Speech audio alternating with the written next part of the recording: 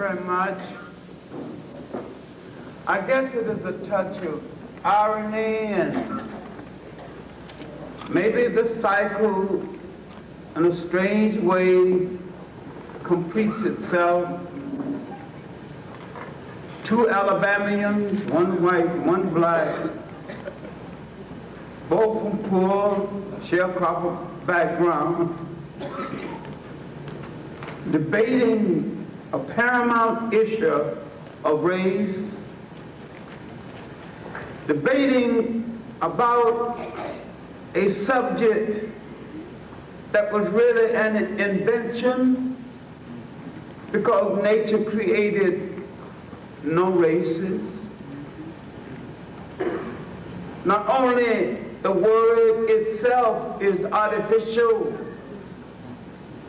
but the tragedy around it is artificial. Now, if I say the tragedy is artificial, I cannot say the pain and the murder is artificial. You felt that. And that's real. I am saying around a word that was totally unnecessary and a situation that was invented. Not only have people suffered, but the inventor have suffered misconceptions and the inventor have cheated his own children out of the truth about history and the truth about how different people must relate to each other if we're going to have a world where man will walk with some kind of peace and some kind of dignity. We keep calling for black history when really history has no color we need to call for honest history for all of the people of the earth. I do not believe in the concept of curricular inclusion. Because if you include me into a curricula that is wrong, it is like pouring clean water in a dirty, into a dirty glass. That's right. That's right. I believe in corrective history. I believe in honest history. And you don't have to take white people out of history to put black people into history. But put them in, in their right place. I think the achievement of the Iceman Inheritance as a book is not that it is a great masterpiece of literature, but that it is a revelation coming from the side to the victims. And it is a revelation for both sides, saying things that we both must know a situation we both must confront if we are going to end the cycle of murder so that both of us can walk in peace.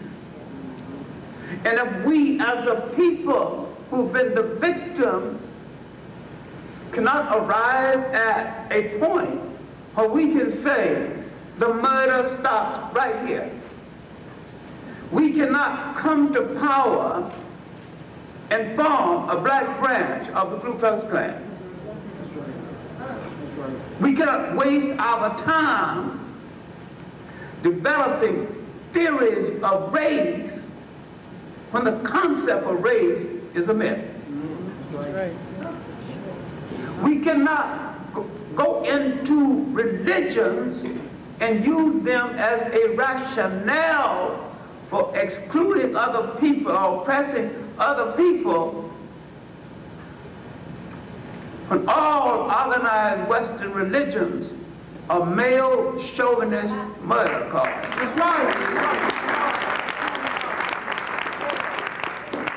All organized Western religions have made God ungodly.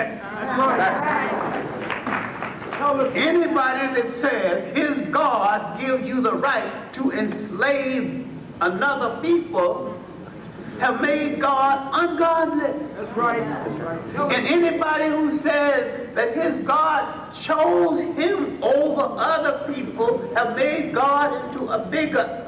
Yes. If God is love, God does not choose one people over another.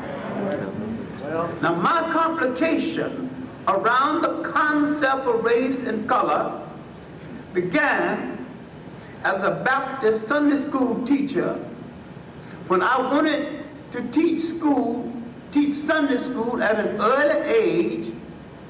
And so therefore I had to read the Bible, pronounce words like Deuteronomy, and I did. And then when I had to go through these little tracts, little fold out Sunday school lessons, sent from a white Baptist publishing company in Tennessee. And when I looked at all of those angels, all white, and I had a great grandmother who told me God was love, God was no respect of kith and kin, and He is the Father of us all. It was those angels that confused me. All the people that died, not one little brown or black angel sneaked into heaven. I began to understand something had gone wrong with God's book. Somebody had tampered with God's book. All right, all right, all right. Misuses were being made of the holy book. Where am I? I look in the book, I see Moses born in Africa, goes down to eat to Ethiopia to marry Zipporah. Moses gets white, Zipporah gets white. I see people going to the land of Punt, which is present-day Somalia, they get white. People going to Kush, the present-day Sudan, where I found blue black people, they, they get white. I couldn't find any black people in Africa, and the Bible unfolding in Africa. I couldn't even find any black people. I'm confused now. that I'm wondering about all of it. And I'm in Georgia, a teenager. I'm mowing lawn, airing dogs, doing all kind of chores to keep body and soul together before school and after school. I'm being pushed off the sidewalk by white thugs. One time I almost pushed off a bridge. In the meantime, I'm being told that this is superior people. Now, why does superior people need to prey on a lonely, straggly delivery boy, lawnmower, kid ain't bothered nobody trying to make a buck. Here shining white people's shoes, polishing all those buttons and all the officers' clothes. You're trying to keep it together. I mean, well, what, what, if you got to pray on it, you, you sure can't be brave. You got to take six of you to want to pray on him. So, why is the bravery? What is the superiority? I'm going to suspect something. Greed and selfishness. Greed and selfishness. Now I'm working in their homes. Mowing their lawn, washing their windows.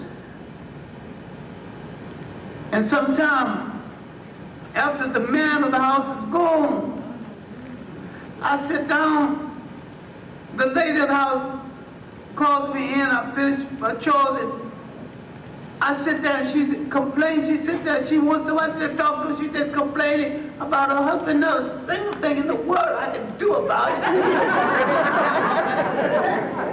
but listen, but she'd rather have some boy mowing the lawn than listen to nobody to listen at all. So once I listen, I go out and mow the lawn. So it wasn't for rich white people who have good libraries that they never use. So when I began to borrow books and they never missed them, I start bringing them back. I'm getting a decent education. I'm getting a decent education while trying to survive. I began to a habit of picking up leaflets out of the street, put them in my pocket, and I read it later. So I get to my desk in school, start putting out my leaflets I picked up. One fellow grabbed the leaflet, take it to the teacher. The teacher shakes her head, oh, John, you're such a good boy. Why would you do a silly thing like this? I'm ashamed. I have to report this to the principal. I don't know what the hell this is all about. Take me to the principal. The principal shakes his head. So I thought you were the finest young men in this school. Why would you do a thing like this? I don't know what they're talking about. Finally, he hands me the leaflet I had had time to read it. The leaflet says, Nichols, read and run, the Ku Klux Klan rise again. In my innocence to learn how to read, I'm picking up things out of the street because I never had a book in my house other than the Bible. I had picked up an advertisement of the group for the Ku Klux Klan. but I continued to read and continue to search. And when I want to impress the teacher, I asked the white man that I worked for for a book on African people in history. And he said in our vernacular, let me down slow. He said, John, you came from a people who have no history. He said, but one day you will have history. One day you might be a great Negro like Booker T. Washington. I didn't know anything about Booker T. Washington then. 20 years later, before I investigated him, Finally, I read an essay called The Negro Digs Up His Past. And I knew that we not only had a history, but in ancient history, we were older than our oppressors. We were older than slavery. And when I discovered how old I was, I would walk up that, but white, white people said, mm, you just got here.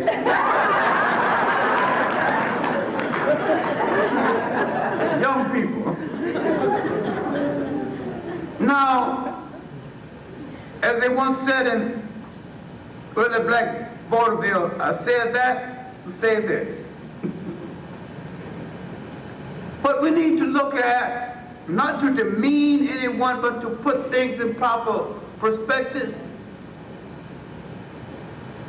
is that the conquest of the mind, the propaganda of superiority based on color, the propaganda of bravery based on John Wayne and a thousand heroes riding into the sun. One of the greatest achievements of European people that they captured the mind of other people and their victims never asked any question have you ever seen one lone white man lynch one lone black man? All right, come on now, come on. They don't come by one, they don't right. come by twos. Have you ever seen it done without a gun? Have you ever seen the odds even?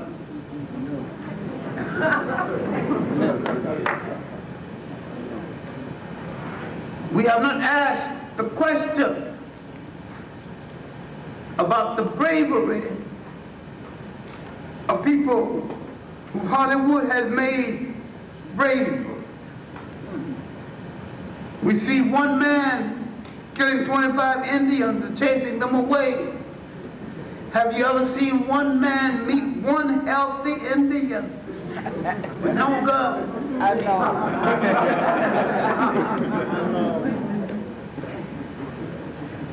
We are at fault in some ways because we haven't asked the right question and to get the right answers for all of this. Have we ever looked deep enough into our history to understand that over half of human history was over before anyone knew that a European was in the world? That's right, that's right, that's right. Now, how did you manage all those years having built enduring societies, not only without a jail system, but without a word in your language that meant jail. All right.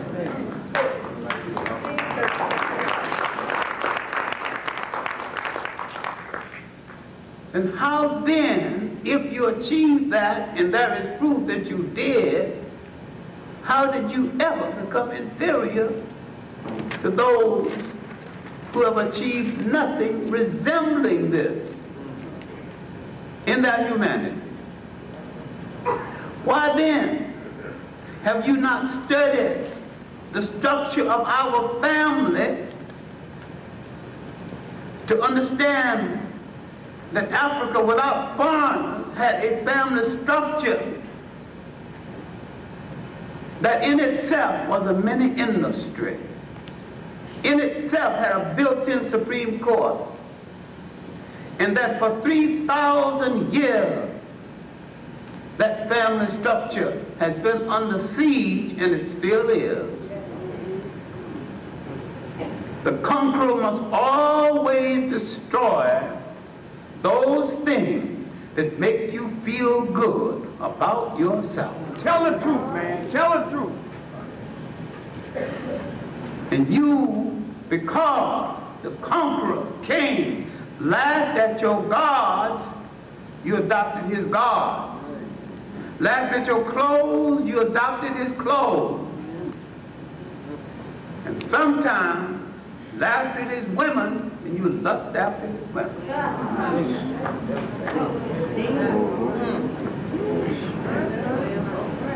The conquest of the mind was his greatest conquest. Why then that this juvenile delinquent from a thawed out icebox in Europe take over the world? Why didn't you think it out? You had a humanity in your culture that made you hospitable to strangers, and you never studied this stranger. You didn't know him then, you don't know him now.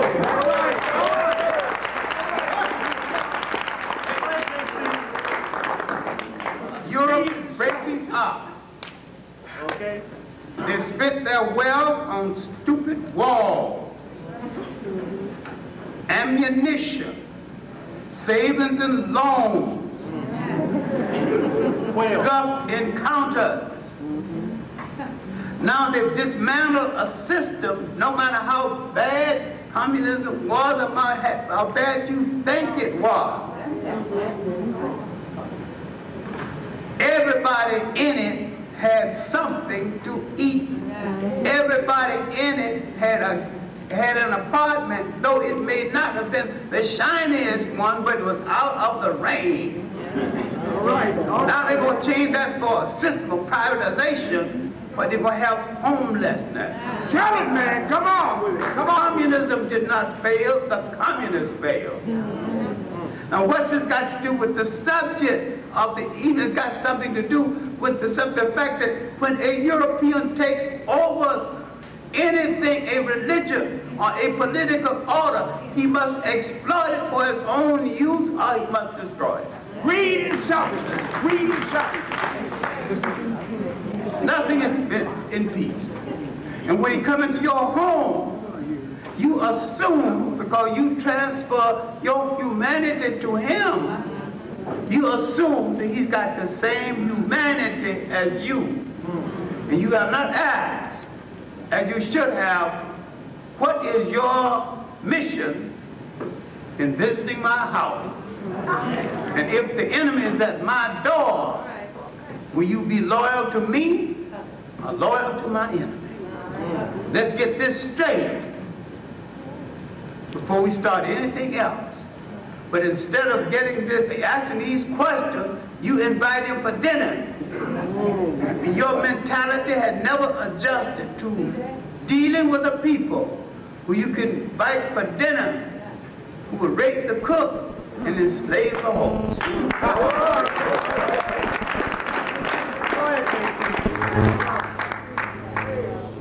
You had never dealt with a people who will use religion as a handmaiden for enslavement. Right. Now, when I say that the African gave the world no religion, I say it with pride. Because what the African had was higher than religion. It was spirituality. Foreigners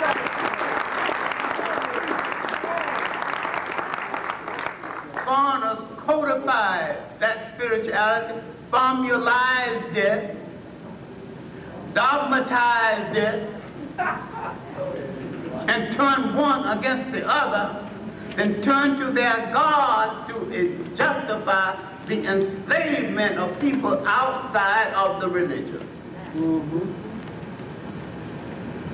Out of this formation came the chosen people myth. And out of it came the true faith myth. If you got the true faith, that means all other faith are false.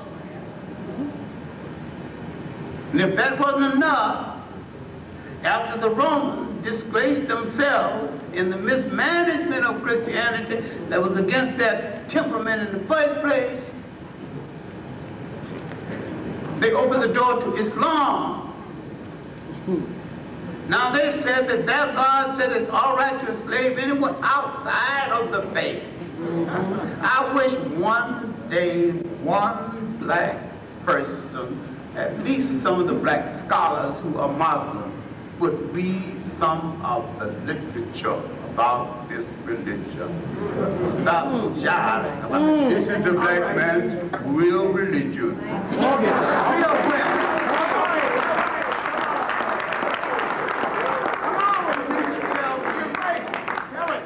you had no religion until the 7th century AD. This is the black man's true religion. Mm. And that doesn't against you join anything you want to. but you convert it into everything that touches your life.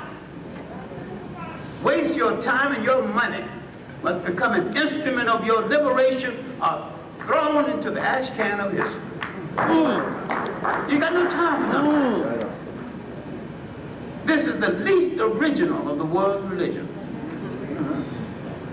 It came into being so fast, moving to a vacuum created by the corruption of Christianity by the Romans.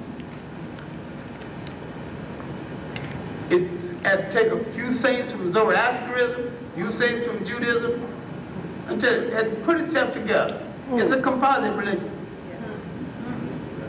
Right. Now, one of the reasons why we have not understood this in relationship to the whole concept of race in Europe we have not understood Nile Valley civilizations. Too many times we use color, but we should concentrate on culture. Okay. It matters less than a damn whether all Egyptians were pure black. All right. I have not made that claim. That is not the claim that's being made. The idea is that these were people in the main who came from the physical body of Africa. And no European would come all the way to Africa and build a civilization of this nature before they built a shoe in Europe or a house with a window. Come on! Who built the pyramid? If the first book appeared in Europe around 1250 BC, written by someone named Homer, and we're not too clear whether Homer was man or woman.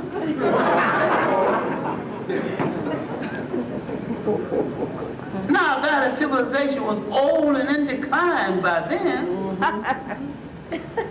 the pyramids and the Sphinx was already there.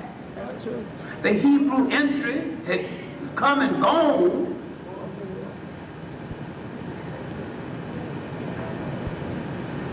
Who built the Sphinx. People say slaves built it. No slaves have ever been this skillful in human history. you can go to pyramids right now, and those blocks of stone are so close together, they've been there 5,000 years, you can't even launch a playing card in, in the seams. They've got no bonding agent. Slaves don't have the skill. What, what, what benefit is to a slave to do a thing like that? Tell me. Now the mulattoization of Egypt began with the Hebrew entry in the 17th century 1700 BC. It continued with the Hyksos, Shepherd King, 1600. And after this period, a thousand years of some kind of peace, and the Assyrians came, 1666. The Iranians, 550 BC. The Iranian was so bad that Africans cried out, oh God, if you can't send me a liberator, send me a conqueror that will show mercy. Now you know what happened with the little Greek, Alexander the so-called Great, knocked at the door. now this was the first purely European aggression. And he wasn't that aggressive because it wasn't necessary. He was, to some extent, a benevolent conqueror, a first-rate diplomat, second-rate warrior, but that's another lecture. but he did open the door for the ultimate appearance of the Romans. All right, we're dealing with racism now. This is something we've got to deal with. The Romans and the Greeks were smug and exclusive, but they were not racist in the present sense, although Aristotle quite a number of things that can be interpreted as racism and might well be racism. Prejudice in itself and preference in itself is not racism. The racism that we are dealing with right now came out of the 15th and the 16th century. The rise of Europe after the Middle Ages, the Crusades, and the beginning of the slave trade in the 15th and the 16th century. This is what we got to really deal with. Europe, during the Crusades, partly religious, partly hustlerism, Part of the Raven Party. Right. But after this was over, famines, plagues, Europe lost almost one third of its population. They're looking for an outlet. During the Crusades, they had found some things over and above anything They'd seen in Europe fine fabrics, beautiful designs. They brought these things back into Europe with the Africans, Arabs, and the Berbers controlling Spain from 711. they've discovered something called soul. They began to use.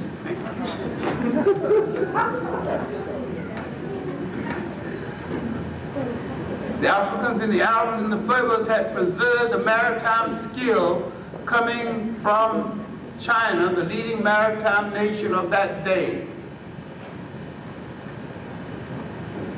Some of this information fell into the hands of Prince Henry of Portugal, called Henry the Navigator, although there's no evidence he ever navigated anything. With the birth of European maritime skill, putting boats at the sea, out to sea, Europe start looking for Asia and the sweets and spices of Asia. Something to put on that gosh darn awful European food so they could eat it. Now they wanted a rationale for what they were doing. The rationale that they were using for the Crusades now extended into the rationale for the for the conquest of other people. Manifest destiny, divine white right. If you're not using it, it belongs to me. Come on, come on, come on. Now, the Africans and the Arabs argue among themselves that lost part of Spain. Spain and Portugal would go to the Pope to settle a dispute 1455, the Pope would issue an edict, and he would say, you two good Catholic nations, stop fighting among yourselves. You're both authorized to reduce to servitude all infidel people. Now, the justification for the slave trade had been set in motion. Portugal had achieved a minor victory in the Battle of Ceuta by capturing a small enclave in Morocco. Portugal had, had freed itself from the domination of the Africans and the Arabs. 1240, the Africans then, the Almoravids, had been challenged that same year by another group of uh, Islamic warriors, the Almohades. We stand the land were the story of the Moors in Spain. Read John Jackson's chapter on this called Africa and the Civilizing of, uh, Europe. Because there are many good works on this, uh, on this subject dealing with the uh, resurgence of, uh, of Europe in the, in the world. The Europeans began to come down the coast of West Africa and most of the Portuguese, 1438, began to take slaves out of Africa in 1442. The nations in inner West Africa, Ghana, Mali, Songhai, Basange, had a golden age, not only during the slave trade, but in spite of the slave trade. And we keep missing this. We think the slave trade, nothing else happened. The great city-states in West and East Africa continued until the Arabs began to destroy from the north and the Portuguese moved up from the south.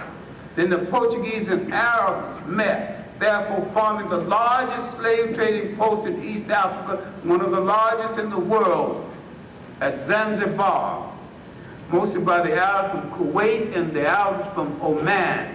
Omani Arabs and Kuwaiti slave trade. Now you can have sympathy for Kuwait, and I think you might yeah. need to. But don't forget now, the Arab slave trade lasted a thousand years before the European slave trade. Oh, ask your Islamic brothers to do a little investigating on it, and if they want to read something on it, tell them read UNESCO documents too, called Slave Trading in the Indian Ocean. And tell them also if you want some additional material, read Sir Harry Johnston's The uh, Colonization of Africa by Alien Races, and Sir Roger uh, Coupland's work, uh, East Africa and its Invaders, Cambridge History of, uh, of East Africa. And if they say that uh, all you telling me about reading Whitey's books, you tell them that um, there's some extensive work in history that um, getting from Whitey to Blackie haven't had time to write.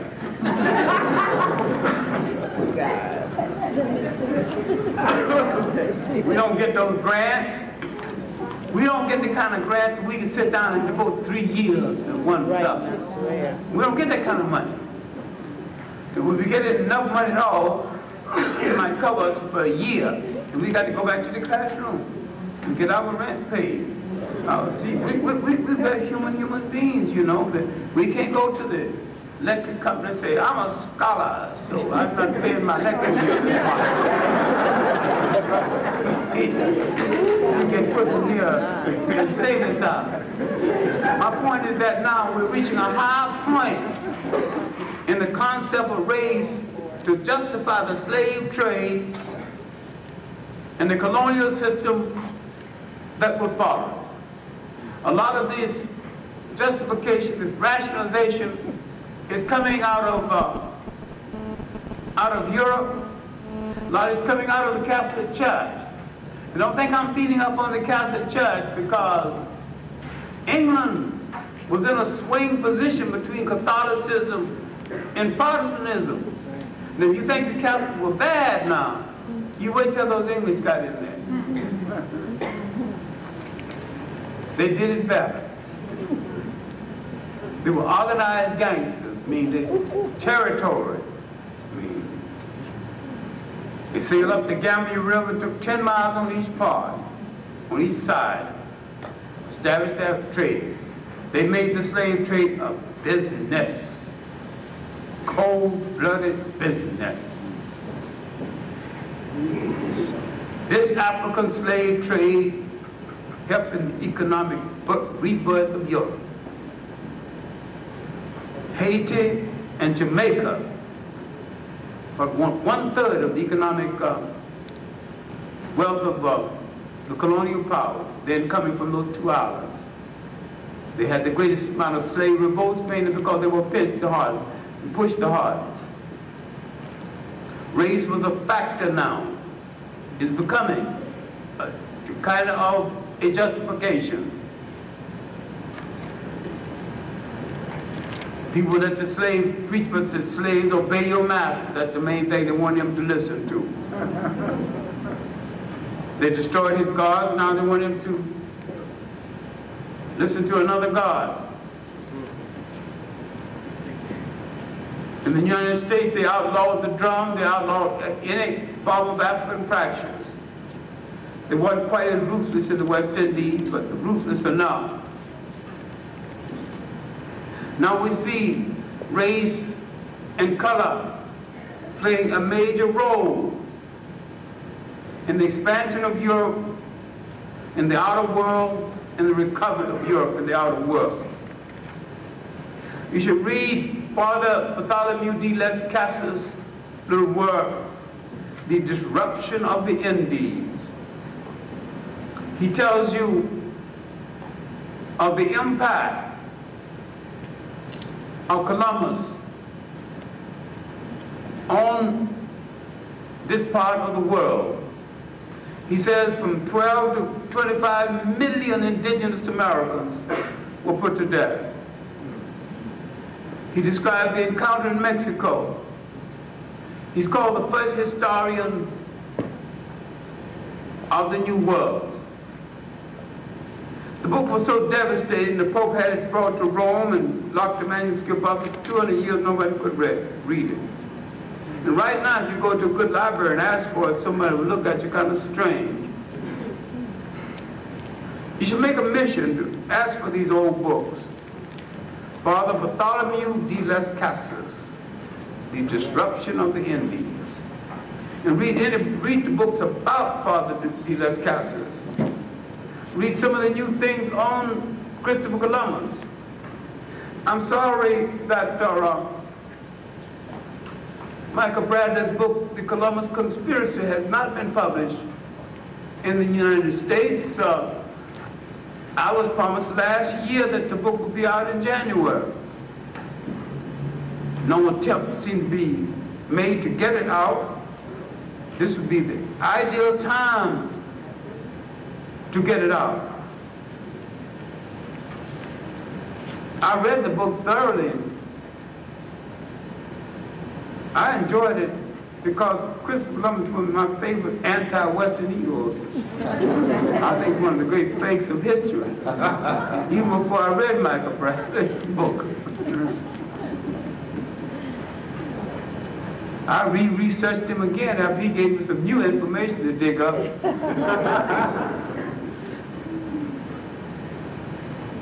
There's also a book called Conquest of Paradise about Columbus. There is uh, documents on West Indian history by uh, Eric Williams. Now I'm going to close in something that has no ending anyway. One thing about the Baptist tradition, you take your text, you leave your text, you come back to it before the end and let people know that you know your text. But once you get started, it's hard to stop. What I'm saying is that we have survived the longest Holocaust in history. That's right, that's right. And let no one say they have a monopoly on the word Holocaust. Faith has not spared us for some casual reason. Some people have been hit less than we and they're now extinct. We need to look beyond tonight's lecture. We need to look at the racism and the expansion of Europeans to the Pacific. The wholesale murder of people in the Pacific, the destruction of people on the island of Tasmania, people in India, we need to take a holistic world view of the tremendous cost to the world for European expansion. And it wasn't necessary. I maintain that had Europe entered a genuine partnership with the people of the world, slavery wouldn't have been necessary, Racism wouldn't have been necessary. They would not have had to turn their souls into pretzels in order to create a rationale for that world domination. The domination of the world by any one people is rather stupid. And any one people who think they must dominate the world must be terribly insecure. It was not your bravery that brought this about. It is its fear. It's lack of bravery. Not man which might lack of it. Then what will we do in the world of tomorrow, considering there's a billion of us on the face of the earth? We have to start producing instead of consuming everything. We must reclaim the continent of Africa, all 12 million square miles of it. That's right. We must create the kind of humanity where all men can walk in peace and walk with dignity. Yes. I didn't say forget and I didn't say forgive. Right. And I'm not advocating uh, nonviolence. Very good. I'm advocating the strategic use of violence whenever it is necessary for your self-defense. All right.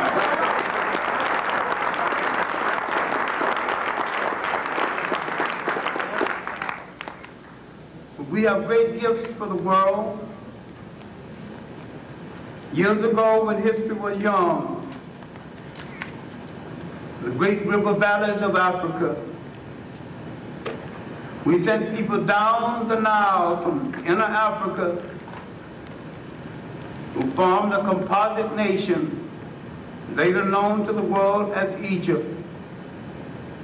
That nation and its literature laid the basis of so much that we know as the world's religion and its social thought, and so much that we now call a civilized state and humane thought. What we have to do is to form a partnership with ourselves. I say, find a mirror and look at that partner staring back at you and say with confidence, partner, you and I start a revolution to change the world. We choose to do it right now. All right.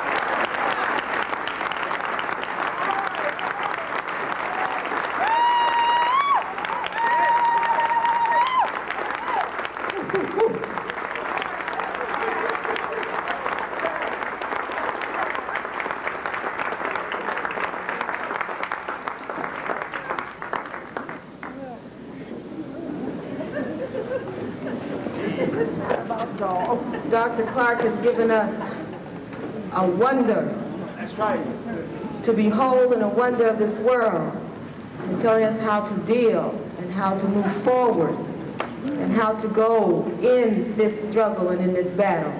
I'm, I'm ready to give him another hoo hoo hoo. Hoo hoo hoo.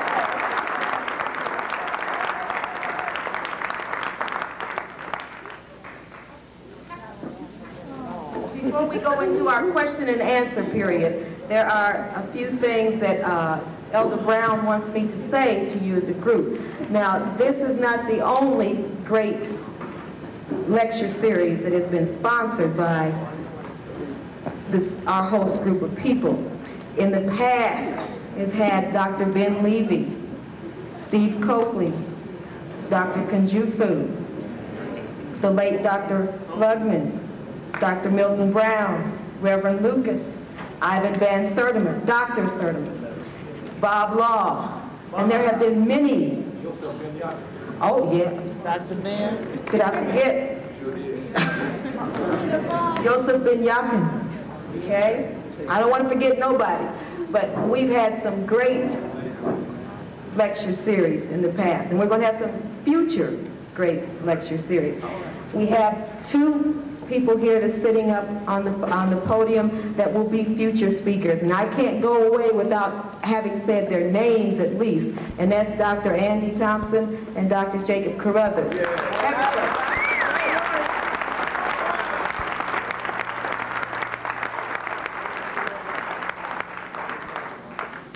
So at this time, for us to have the question and answer period organized, we ask that those that have questions to please come and form a line up here around the uh, front, up front.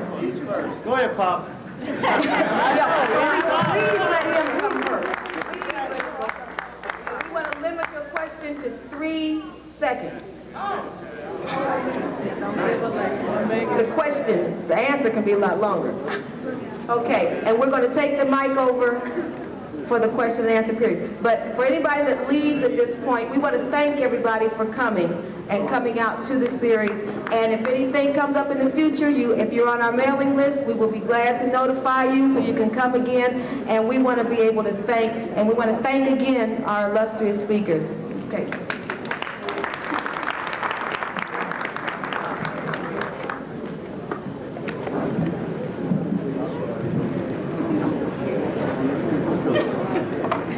My question is to Mr. Bradley. Wouldn't it be more scientific and more valid for you to say, as some of the other white intellect- intellectuals, a few of them, and historians and philosophers have said, or at least implied, that this aggressiveness is not something natural. This is stuff taught it's a cultural thing for greed and selfishness.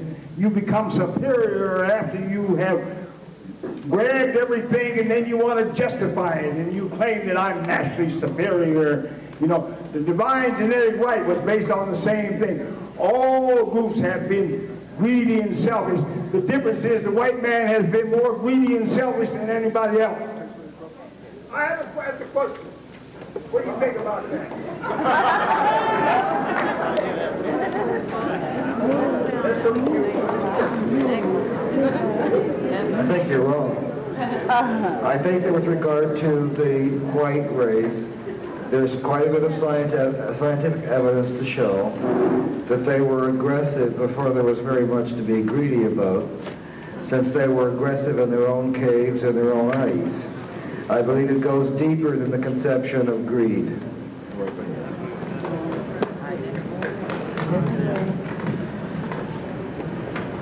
Okay, um, my question is to, first of all, I'd like to thank Mr. uh, Dr. Clarke and Mr. Bradley for coming out. And uh, my question is, um, I heard you say earlier racial polarization. This is to Mr. Bradley. You stated that black, that uh, there seems to be a movement in America, you implied it, among blacks to try to racially polarize the uh, um, teachings in terms of teaching black history. For example, you stated the Afrocentrism within the school system that they're trying to imply now. We seem to be trying to racially polarize uh, history. But what I see, uh, based upon what I see when you state that, I think of uh, there's a there's a Sir Henry uh, um, Gerald Massey, there's um, uh, Sir Godfrey Higgins, all these white people, Europeans that have done history, and they've stated in their works that these things were originally uh, created and done by uh, dark-skinned people with, with thick lips and woolly hair. My question to you is, doesn't it seem like the best thing we should be saying here instead of coming among black people telling us about we should not do the same thing as white people have done, which I don't believe we ever, we've never done and will do. I think it is more proper for you to go among your own people and tell them not to do that and come among us.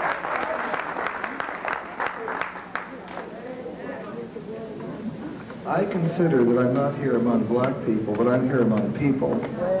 And I also consider that I have the right to say anything I want as long as it's the truth as I know it, and if it's not the truth, I'm happy to learn otherwise.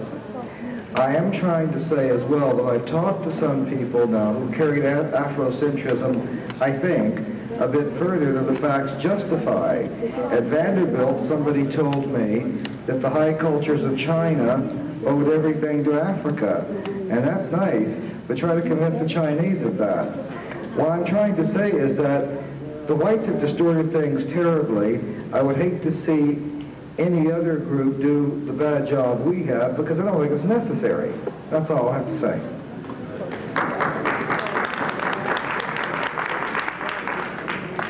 Uh, Oh, yes. Uh, The question I want to ask is this.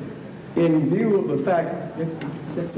Okay. Um, In view of the fact that you say the uh, white, uh, uh, the white people are aggressive and so forth, I don't like to think of it as aggressive. I like to think of it as uncivilized. And in that context, I'd like for you to have to respond in this way uh, by telling me how long do you think it will take before white people will become civilized?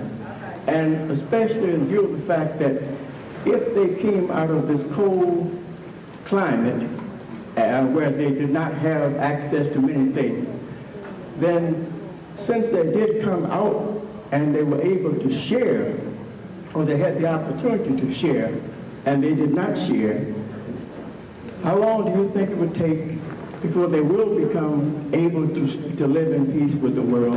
And if it is necessary for them to go through some sort of, I don't mean uh, education, some sort of surgery or bravery or some sort of something to make them civilized. Okay.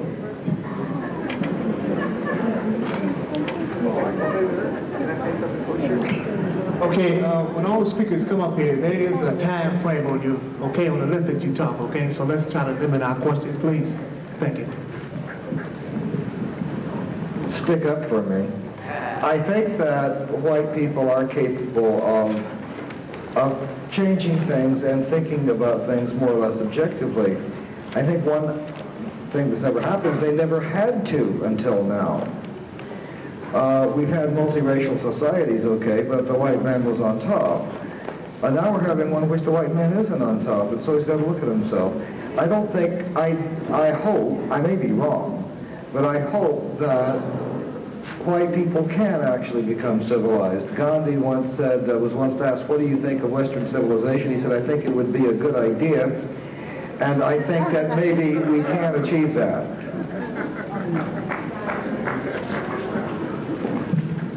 Respected Dr. Clarke, uh, Mr. Bradley, I agree with the first paragraph or so of your book when you state that whites uh, are racist and aggressive and sexist and whatnot.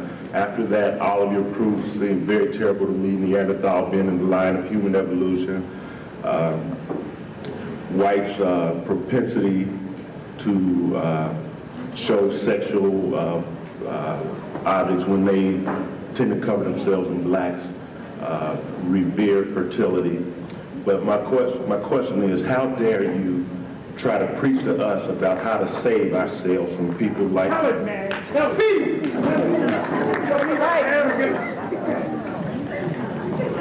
Okay, my question is to uh, Mr. Bradley also. Um, it's related to the previous um, person who asked the question. Um, it seems from the indicated the literature I read from of Dr. Diop uh, and many others that the Neanderthals um, were hominids and never did um, go along the human line, and that uh, the origin of Europeans can be traced back to the Cro-Magnon, and that the, the Neanderthals never were humans. So I'm, i want to know how you, uh, in light of the anthropological evidence that's been out there, out here, uh, particularly since 1978, how do you account for continuing to go along with that?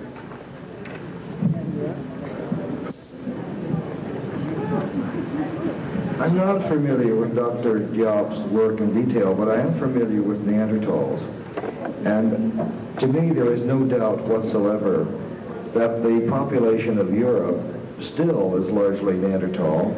I've met some people from Eastern Europe and the Russian, the Caucasus Mountain who are more Neanderthal than they are anything else.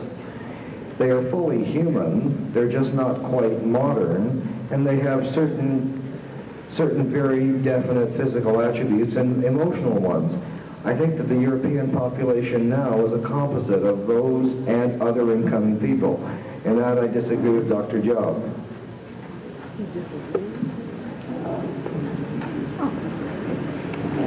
Yes.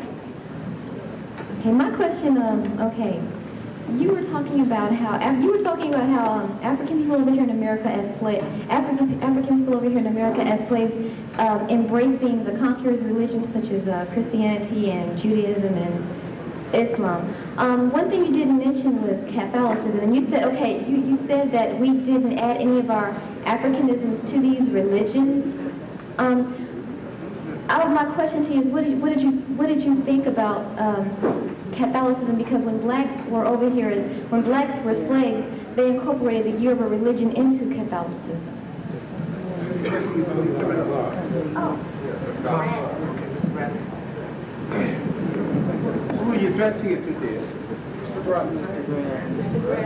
Bradley. Mr. Bradley. Bradley. Misquoted. Yeah, she kind of got everything else.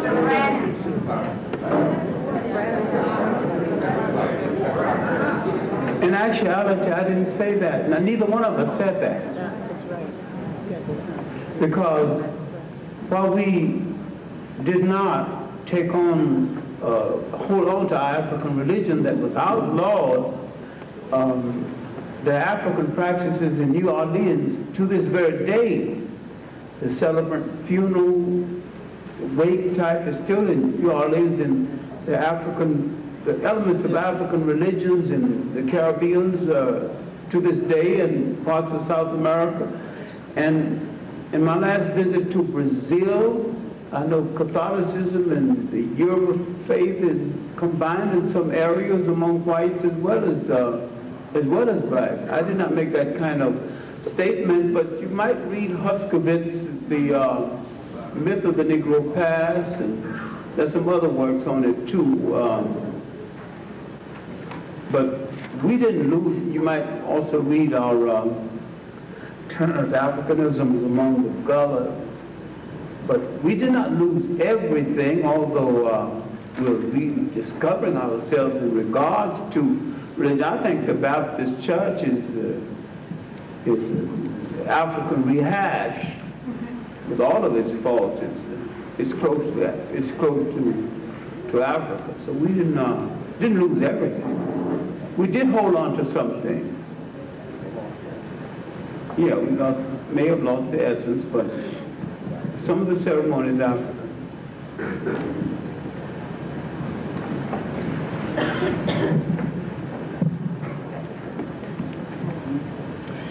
Well, my question is addressed to uh, Dr. Clarke, a man to whom I have great respect, and I try to read everything that he uh, write and get it print.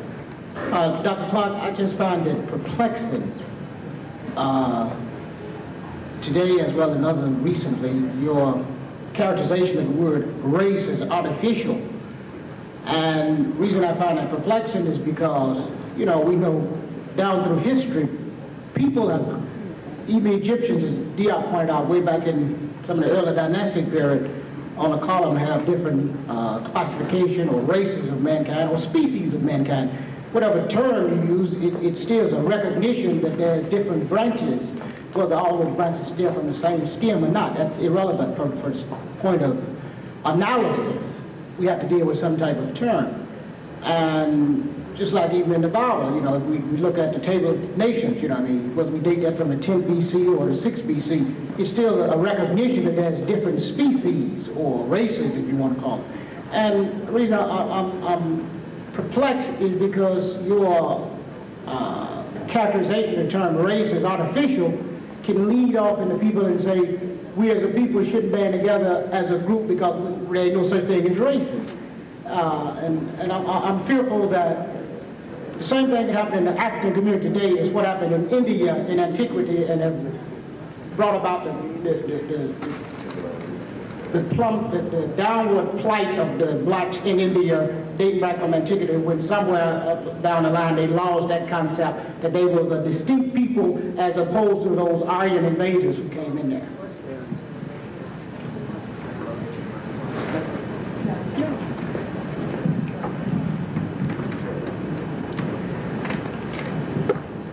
If you can find the word race in the Bible, I wish you'd show it to me. I'm not for anyone losing that distinction. I'm saying nature created no race. People can combine based on religion, culture groups, environmental influences, occupations. Look, I'm a Pan-African nationalist. And I, one reasons I don't use the word Afrocentricity is because it's a compromise with the word Africa. It's either African centricity or nothing. I understand what you're saying, but I'm somewhat of a purist in relationship to the dictionary, too.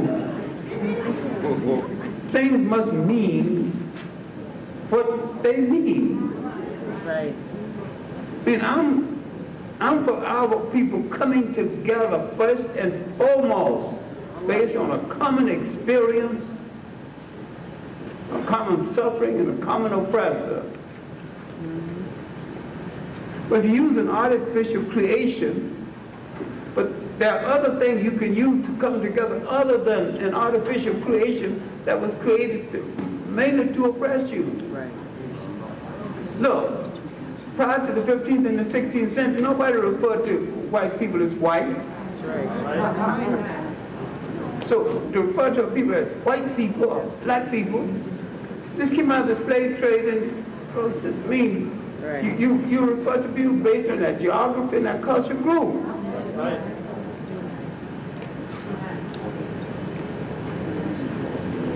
No, I'm not for any breaking up of African people a dissipation of any form of their culture. But I'm also for, for basic truth. Right. Can I ask you a question though, Dr. Clarke? Couldn't one legitimately conceive the idea of races based on a group of people that share not only a, a cultural heritage, but to a large degree a genetic one? and that came from roughly a certain geographical area. If you talk about the Africans in that sense and blacks as being a race, isn't that totally legitimate? Or if you talk about the white Europeans in that same sense, isn't that totally legitimate? Or the Mongoloids who, who, who really developed within a specific geographical area and have a genetic continuity and who also have physical differences from everybody else. I mean, what's wrong with using race in that term so long as it doesn't have any pejorative or discriminatory connotations? I don't understand, I don't understand your position. I'm not against, I, I'm for understanding it, but I'm saying that the word race in relation to a people was rather late. Now that you got it, you want to use it, be my guest. But the history, the semantics of it, is that it was not originally used. And people were referred to as people. Right. Of a given group. Now, certain things have bound people together. And for convenience, anthropologists have called this a race. So if it's one, if the convenient people want to continue to use it, I have no problem with it. But it was not originally used as a reference to a people. Nor was the word black or white or yellow used as the original. You don't identify people that you identify people based on that geography right. and a culture group. Right. And then right.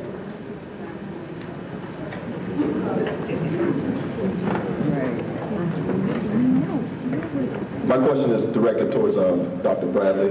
Um, there seems to be uh, a warped phenomenon that anytime a person stands up and takes a position against um, what we call racism, or um, puts forth a dialogue to counter that, that is considered racist. And in fact, the, the opening uh, sentence of the first chapter of your book, you say that this book is racist.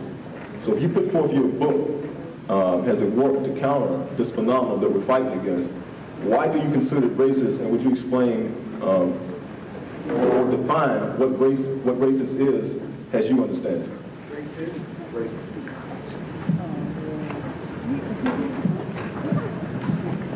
Okay, just a second. I want to get this crystal clear. You want me to define what what the term racist means? Okay. I use that as an opening grabber because the book was directed actually toward white people.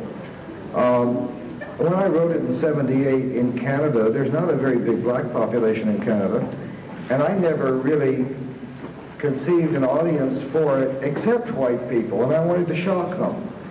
I consider racist to be somebody who considers that there is a prejudicial or pejorative um, reason for discriminating against somebody else on the basis of superficial characteristics. That's what racism is to me. Now, in my book, I considered that we might do that with regard to white people, because in general speaking, history has shown they're more aggressive than other people. But I don't advocate enslaving them or killing them off or exterminating them, but educating them. So it is racist in the sense I'm pointing out, I think, a racial proclivity not shared to the same degree by other people. But it's not racist in the sense I don't think any violent action should be taken against white people because of it. I think that mostly if they can be seen to experience it, that they can change to a remarkable degree. That's all. Now, does that answer your question? Because I'm not trying to duck it.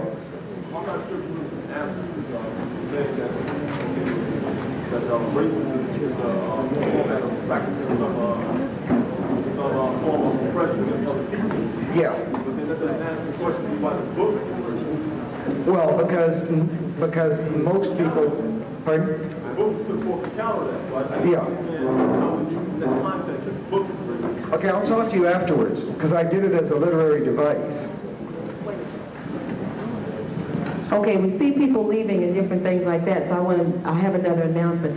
The audio tapes are ready and on sale now for $5. So if you want to get an audio tape, feel free to do it. Now don't rush out right now because we're not through. We're going to take these last five questions, and then we're going to wrap up. But again, I want to say we, we do want to thank the Worldwide Wonders Deliverance Temple for the opportunity to come out and be together like this and be able to air, and voice our opinions and all those good things that we need to know in order to be able to move forward as we want to do. Okay, well, these last five questions and then we want to wrap up.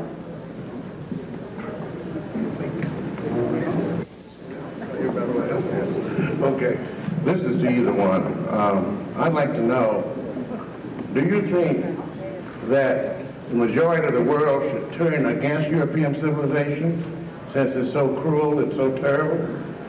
Uh, you think the Japanese, who are moving directly towards European civilization, should reject it? You think we should get rid of our Cadillacs, Mayflower? Uh, That's all.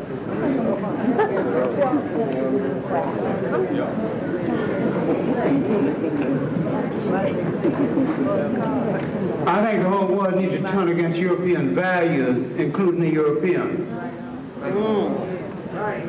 If the European has anything called civilization that you can use, by all means use it. For your survival, draw on the intellectual heritage of the whole world, but always start with your own intellectual heritage.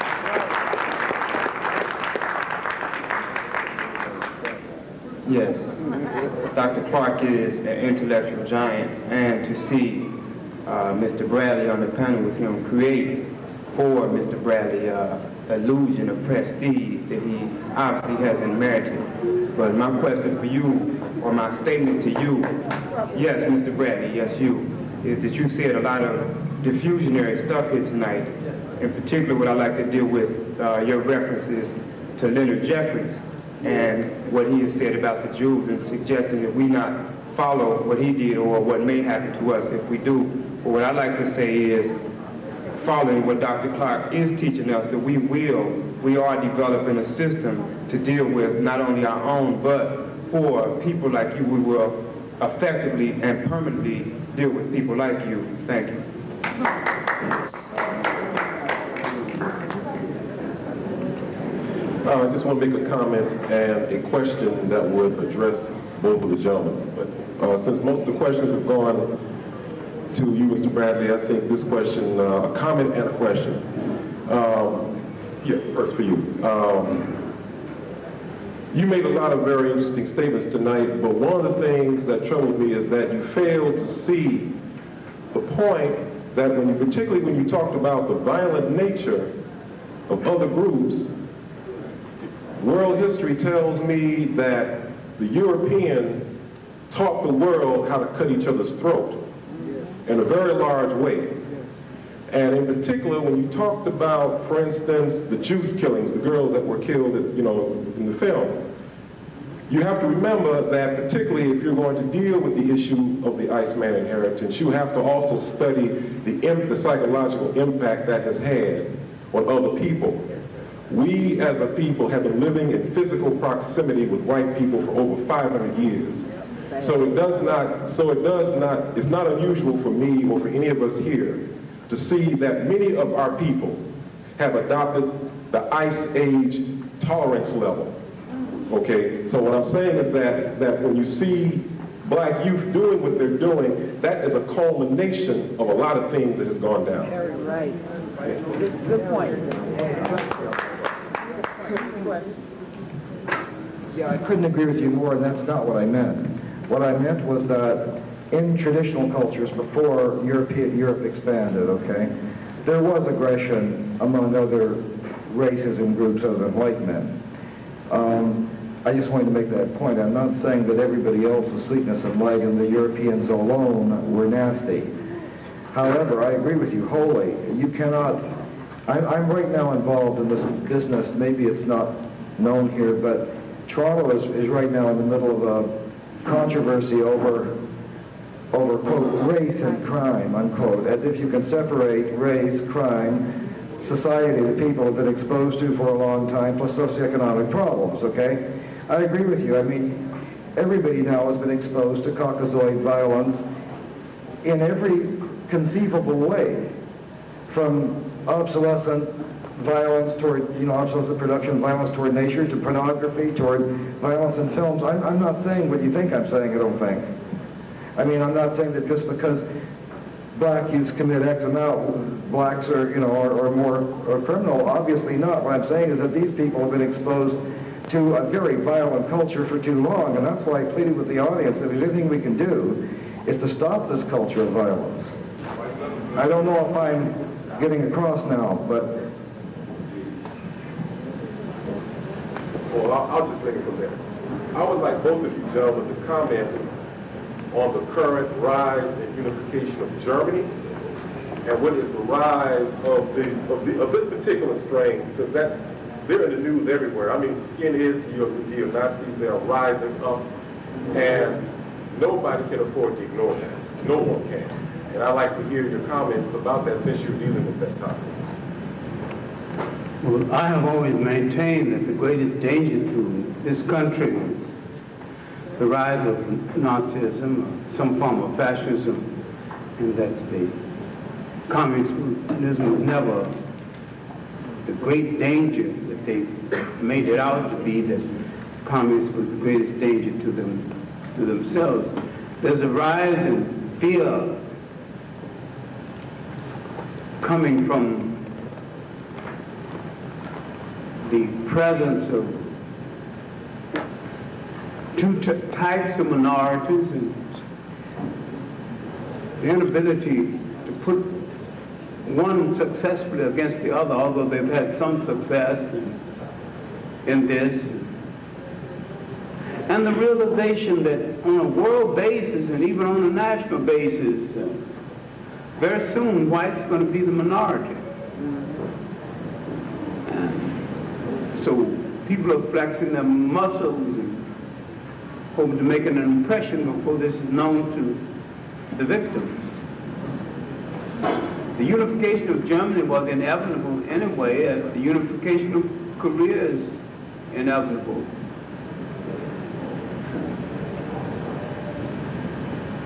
Germany might represent a threat in the world, but what bothers me, what I find rather peculiar is that if a black person say he don't like gefilte fish, he's called anti-Semitic.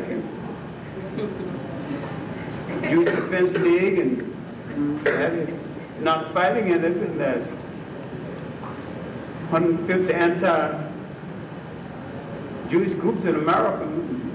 Nobody's fighting in them. They're paramilitary. They got guns. Blacks have one dissident word. They have no guns to fight. They can't. Powerless people can't do too much anyway. So even if they were anti, and I don't think that's the case. Nazism is rising again in Germany, and the concept of Nazism is rising again in the United States. And no screaming editorials against it. Somebody's agreeing with it. I don't know if anybody's agreeing with it, but it's certainly on the rise. Um, I went out, uh, uh, in Canada, it's on the rise quite a bit too. I was hired just recently to go across Canada by bus with a group of skinheads undercover to get their values and whatnot. A, a, a film producer wanted to do a, a film about this new phenomenon arising. And it was frightening to me, number one, how many people there are.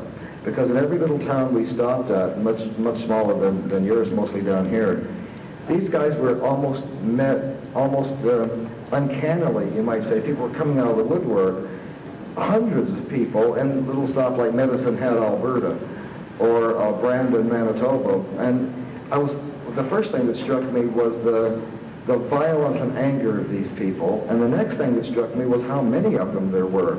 And I've been sitting in Toronto trying to convince Canadian media to do something about this, and I've gotten nowhere because nobody will take me seriously. But I think it's a very serious problem. I think within five or ten years, we may be in, in trouble that's going to make Nazi Germany like a Sunday school picnic.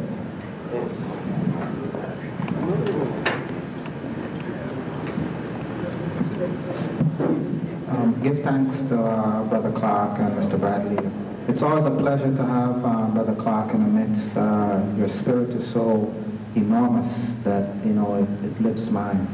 My question, uh, Dr. Clarke, is you raised uh, a point in the lecture that we shouldn't be concerned with the color, but we should be more concerned with culture. And you cannot be more right than that because a lot of us forget that um, the first people to enslave us were not the Europeans, but were the Arabs. And a lot of Arabs look just like Africans in, in color, not necessarily in culture. So I'd like for you to, you know, elaborate on how do you define racism and why are we having so much violence amongst ourselves? Is it a problem or a, a strategy that the Europeans are using to eliminate our people?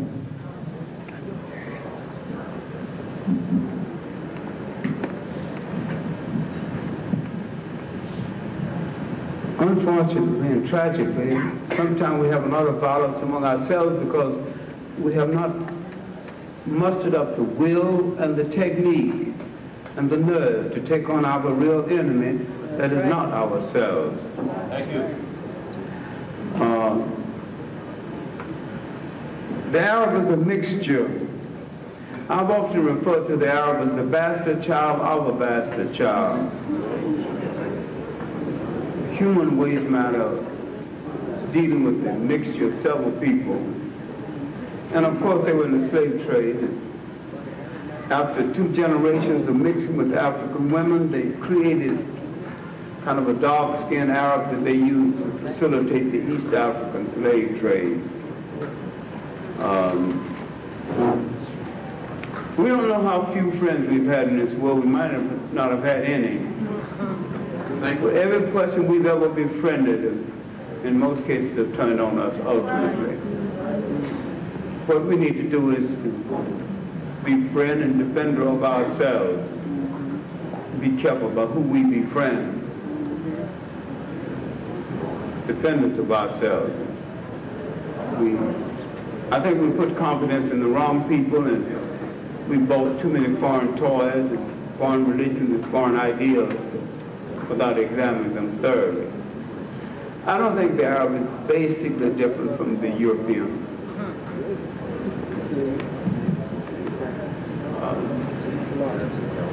I think we've talked the situation as far as we can tonight. One more person.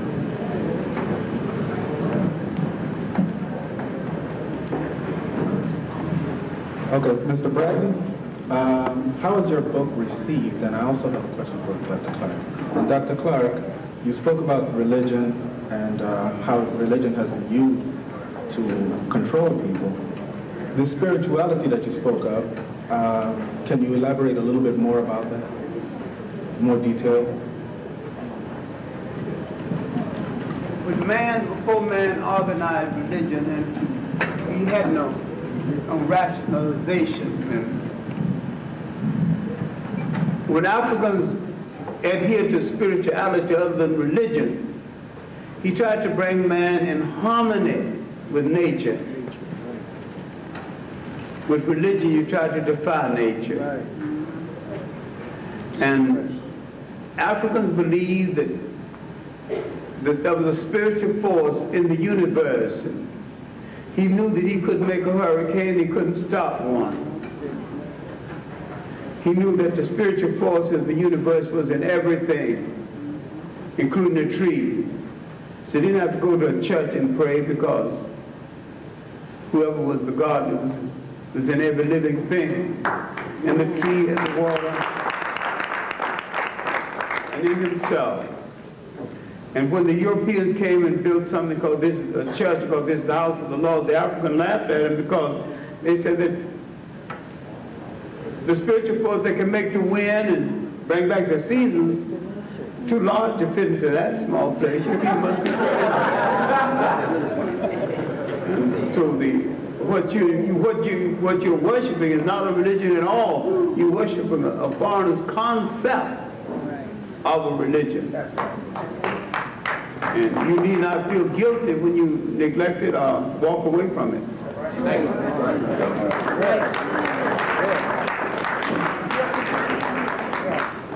One more. How well was your book? Oh, that's right, that's right, yeah. Okay, uh, it's not very well received among whites. except among some physical anthropologists. It's um, better received, I suppose, among non-whites, both Orientals and Bloods. But some, like the young man who left here, seems to be angry at me for some reason. I still don't know what I've done. Um, uh, so, I mean, it, it depends, but naturally you don't expect whites to like it very much. In Canada, I have a very good, difficult time anybody even taking it seriously enough to interview me, except if they want to distort it. Then they're happy to interview me. But you have to expect all that. All right, thank you. I must apologize for extending your time past your limit.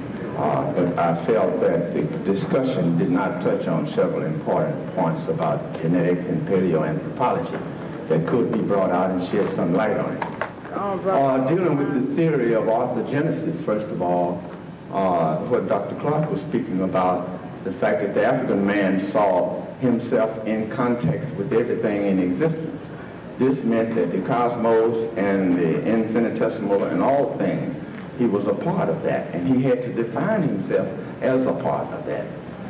This uh, relates to orthogenesis in that the seed that flows from generation to generation has a direction of its own. It has a direction that you could say is of God. And there is such a thing as a dead end in mutational process. The white race is in the process of a dead end.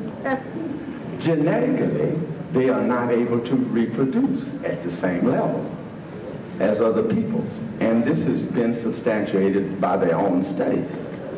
It has got down to the place to where they even masturbate to reproduce through artificial insemination and other scientific devices. Uh, I want to point out that Nazism came about as a result of Oswald Spengler's studies back in the early 1800s. And it was Hitler who read his studies and formulated Mein Kampf while he was in jail. From this position, it was said that the only way the white race could be saved was through certain devices that Hitler adopted. One of them is the uh, elimination of people, non-productive people. Another way was through the arts, which Spengler said that the arts had shown that the European race was destructing, uh, self-destructing. Now, it was Richard Nixon who came into order, came into power with the Nazism in 1968 after the white race was uh, shocked by the riots. And from that, I'm, I'm, I'll wrap it up. But from that, we have been under an intensive Nazi national policy ever since. And that policy is uh, in its last stages today. So all the people out here that run things, and even here in Chicago, the Jew, there's a Jew in charge of the Nazi party. So this is a whole uh, process that black people with the state government and every area of society that we look at, we are looking at Nazi policy. And you can read your mind come and find that out. Thank you.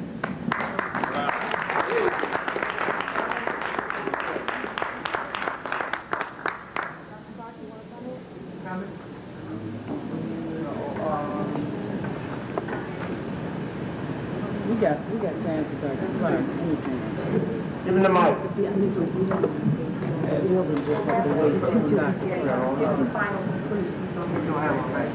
We got all night. You You might. We got time for Dr. Clarke. The germ of Nazism, totalitarianism, is so firm in the mind of the European is that you could not expect the defeat of Hitler and Germany to wipe it out because before Hitler came to power, other people advocating the same thing. The Teutonic origins theory had its greatest development at Columbia University and at Harvard University by professors there. At the same time, the racial theories of Lothrop Stoddard, who wrote the Rising Tide of Color, and another work called the Negro as a beast in the eye as the image of God. And you haven't read the tremendous amount of racist literature produced in this country, and they said things worse than Hitler ever said. I don't know what everybody's so surprised about it. You ever read David Hume and all these people who justified slavery? I mean, hundreds of years before Hitler was born. And, and so it's, it's, it's nothing especially new, but, but you, you are newly discovering something that's been there all along. We don't watch ourselves. This country, I thought, had Nixon not moved to Watergate, I think Nixon might have been um, a dictator. Might have eliminated the election, became America's first dictator. We're rather naive people relationship, because we, we'd rather ever elect an intelligent president anyway. Uh, I think we need to be a little more alert, read more, think more, we need more study groups. Yes. Yeah. Be more protective of our community. We to wipe out all this degeneracy in our community, crack and crack them more, crack some heads and, and crack. Again,